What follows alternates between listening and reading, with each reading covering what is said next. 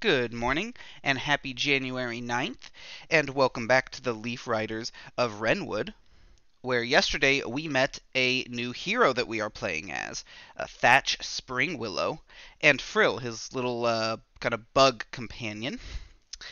And we did some tasks around this uh, area for the Tree of Seasons, which appears to be something that we kind of kind of worship or or treat as kind of like this sacred object.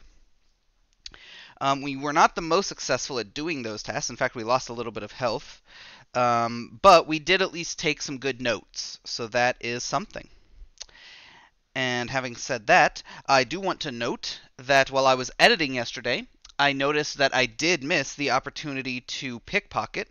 Uh, it's kind of in the bottom left hand corner here of Thatch.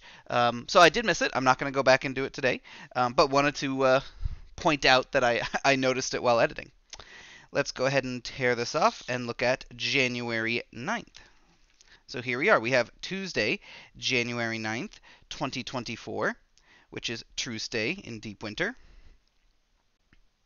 And it looks like we're we look worried almost there as we kind of consult with what I assume is the Tree of Seasons. But let's uh, let's take a look. So, excellent work for the morning. As I prepare for the afternoon, please finish up with a thorough leaf inspection. Ah, okay, I see. So yeah, we are inspecting the leaves of the tree. Okay, so first we look over the tree closely, which is rolling a d20 and adding our intellect, and they remind you to use your investigator ability. And then we, number two, analyze your findings, which is rolling a d20 and adding wisdom. Now, because I missed one yesterday, I'm going to very thoroughly look at this page, although this doesn't feel like a place where we would get treasure, and there's there's no one to loot here. So I think I think I'm good to move on and, and hope I didn't miss it again. Yeah, I don't see a backpack or a bag of gold. Okay. So yeah, let's let's inspect these leaves. Let's look over the tree closely. And I guess we should also we may as well open up to our page here. All right. so yes, let's roll our uh, d20 plus our intellect, and we get to add an extra two for investigator. So we, we're plus four on this roll. All right, we rolled a 10, so we add 4 for a 14.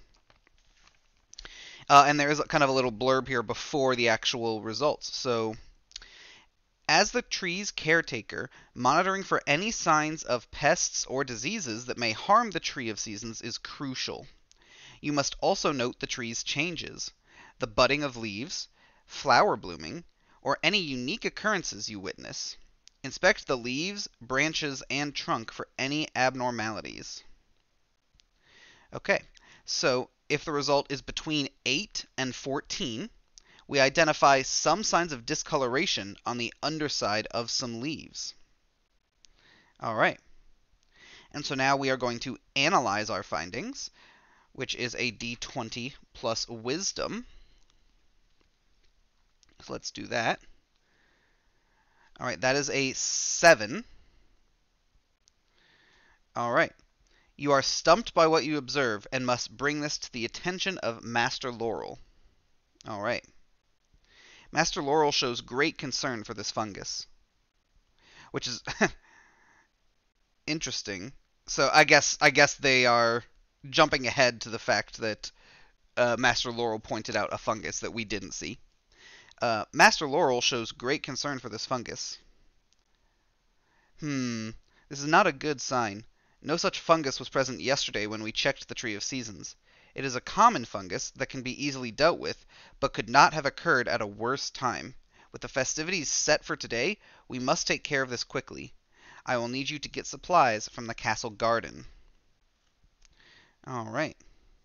So that is what we will do tomorrow is gather some supplies to potentially deal with the fungus on the Tree of Seasons. And that is it for today so far. Again, uh, we have not been very successful with Thatch so far. Um, I can say that you know there was a there's a better result for the first one, and there were multiple better results for the second one. We got the lowest one for the second one.